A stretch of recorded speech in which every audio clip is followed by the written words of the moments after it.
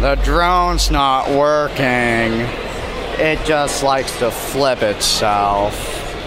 So it's time to it's time to probe.